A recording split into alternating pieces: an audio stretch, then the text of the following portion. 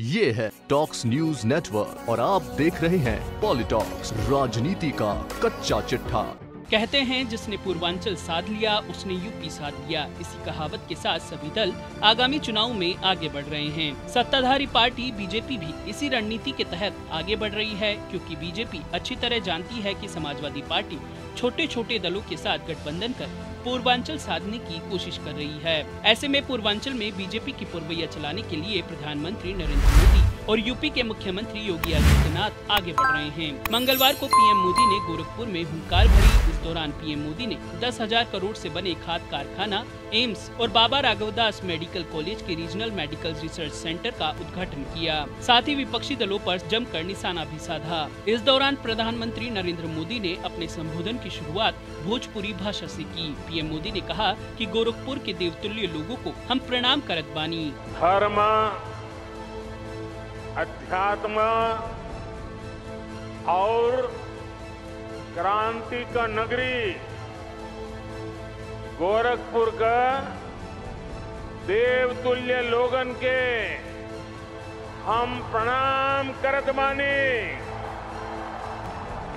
PM Modi ने अपने संबोधन में समाजवादी पार्टी को जमकर आड़े हाथ लिया। इस दौरान पीएम मोदी ने कहा मेरे प्यारे भाइयों बहनों लोहिया जी जयप्रकाश नारायण जी के आदर्शों को इन महापुरुषों के अनुशासन को ये लोग कब से छोड़ चुके हैं?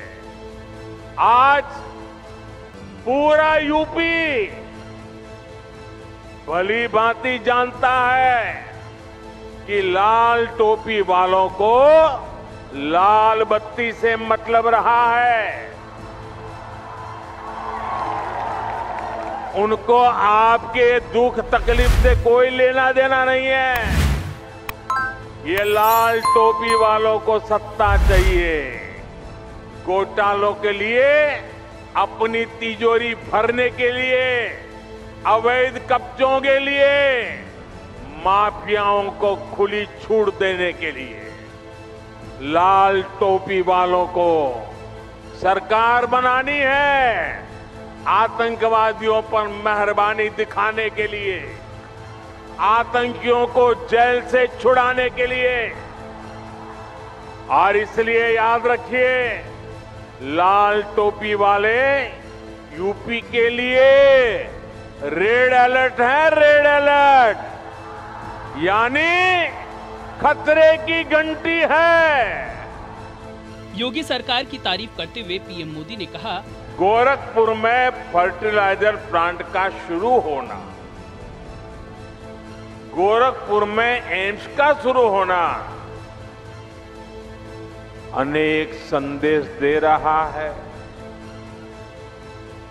जब डबल इंजन की सरकार होती है तो डबल तेज़ी से काम भी होता है। जब नेक नियत से काम होता है तो आपदाएँ भी अवरोध नहीं बन पाती। जब गरीब, शोषित, वंचित की चिंता करने वाली सरकार होती है तो वो परिश्रम भी करती है, परिणाम भी ला करके दिखाती है। योगी जी सरकार की इस बात के लिए सराहना करूँगा कि उन्होंने गन्ना किसानों के लिए बीते सालों में अभूतपूर्व काम किया है। वहीं विशाल जनसभा को संबोधित करते हुए सूबे के मुख्यमंत्री योगी आदित्यनाथ ने कहा कि गोरखपुर में खाद कारखाना का शुभारंभ पूर्वी उत्तर प्रदेश के उस सपने को साकार करने जैसा है, जो विपक्ष के लिए पूरी तरह असंभव हो गया था। तीन दशकों में पाँच पाँच सरकारों ने हामी भरने के बाद इसे असंभव बताया था, लेकिन उसे संभव बनाया देश के यशस्वी प्रधानमंत्री नरेंद्र मोदी ने। मोदी है तो मुमकिन है कहावत को चरित्रार्थ करते हुए इसे संभव बनाकर दिखाया। सीएम योगी ने विपक्षी दलों पर निशाना साधते हुए कहा कि कि गोरखपुर व पूर्वी उत्तर प्रदेश में पहले मलेरिया, फिर कालाजार इंसेफेलाइटिस से हज़ारों मौतें होती थी, लेकिन केंद्र व राज्य की सरकारें मौन बनकर इस दृश्य के प्रति तमाशबीन रहती थी। लेकिन केंद्र में बीजेपी की सरकार बनने के बाद प्रधानमंत्री ने देश के कोने कोने में स्वास्थ्य सुविधा का विकास किया। गोरखपुर में एम्स का शिलान्यास 2016 में किया था और आज इसका लोकार्पण हो रहा है। पॉलिटॉक्स ब्यूरो उत्तर प्रदेश ये है टॉक्स न्यूज़ नेटवर्क और आप देख रहे हैं पॉलिटॉक्स राजनीति का कच्चा चिट्ठा।